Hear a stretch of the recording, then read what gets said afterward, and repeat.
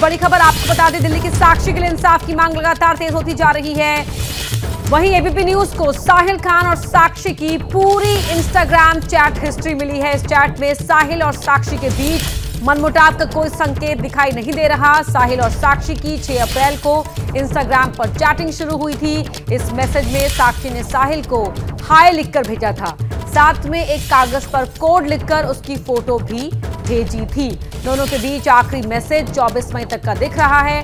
सूत्रों के मुताबिक इस अकाउंट के अलावा साक्षी किसी और अकाउंट से भी साहिल से बात करती थी, जो किसी वजह से बंद हो गया था। इसके अलावा साक्षी ने अपनी दोस्त नीतू को भी 15 अप्रैल को मैसेज भेजा था। इसमें साक्षी ने टेक्स्ट और ऑडियो मैसेज में कहा कि पापा ने घर में बंद कर रखा है। इस चैट से लग रहा है कि साक्षी को घर से बाहर जाने की इजाज़त नहीं थी।